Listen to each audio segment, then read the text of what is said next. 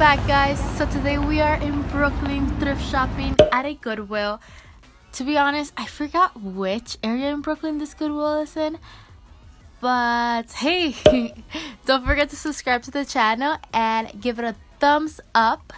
As we proceed into the video i am searching for pants. Yeah like i'm wearing these black jeans but they're super washed off and i really want a new pair of jeans specifically black and i also am looking for winter clothing. But you know when you go thrifting and you search and you search and you're like uh honey it's getting really hot. Like this sweater i don't know. Yeah exactly. This is what i was looking for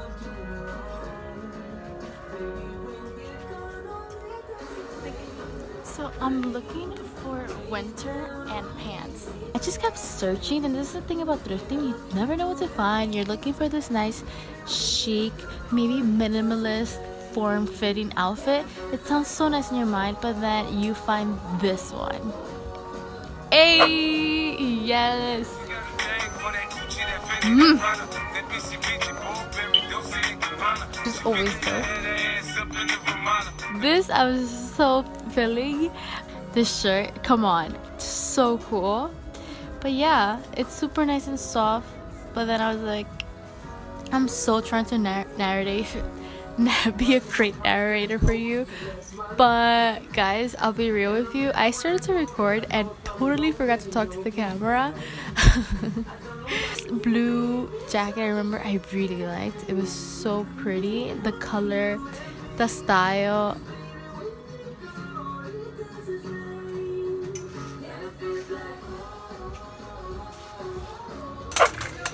and these heels. Oh, I fell in love with these heels. But you know what?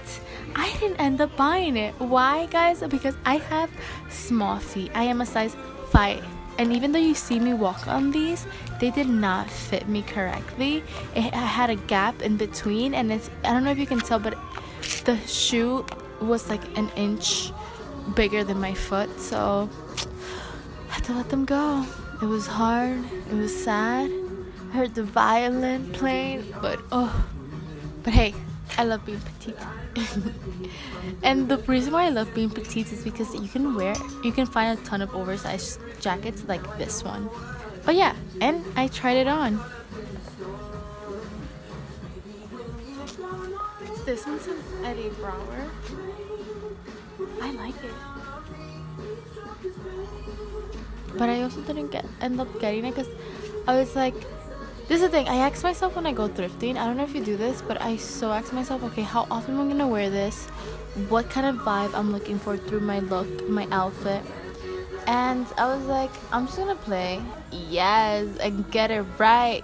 Get into this pimping statement. Mm, mm, mm, mm. Yes.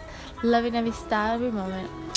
Right after the thrift, the Goodwill, I went to the Brooklyn Army Terminal because I signed up to volunteer at Fab Scraps. And if you don't know about Fab Scraps, please look them up. Fab Scraps yes. It's a location where you must go if you're here in Brooklyn. So they go to companies, like big manufacturing companies, and they go and get their dead stock. And I know if you're, if it's your first time ever hearing about dead stock fabric, oof, let me tell you something. Full and alive, what it means is that it's leftover such an impact seeing the amount of fabric that is untouched. what's so great about Fab Scraps is that you go and you buy sorting out fabrics for them. After volunteering, you get five pounds of fabric and you can find such colorful fabric of all sorts, any type. They even have leather. Like, come on. Like, in the fashion industry, there's a ton of textile waste. So Fab Scraps is Fab Scraps is such a huge solution to this because you no longer have waste. Comes to Fab Scraps and then people like us, creatives, you can come here and then get this fabric and create. And that was the day. That's what I did. It was pretty nice. But like I said, I forgot to talk to the camera, but here we go. Voice over. I hope you've enjoyed. That's the wrap up for today's video. I hope you guys have enjoyed.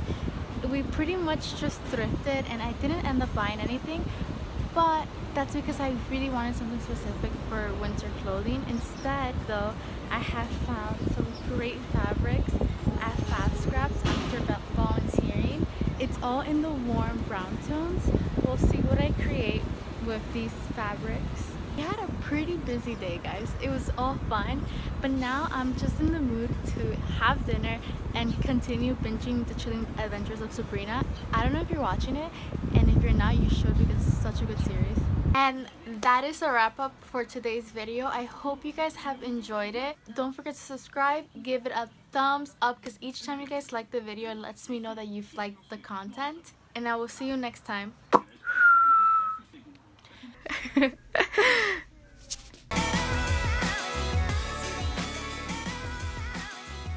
See you guys soon.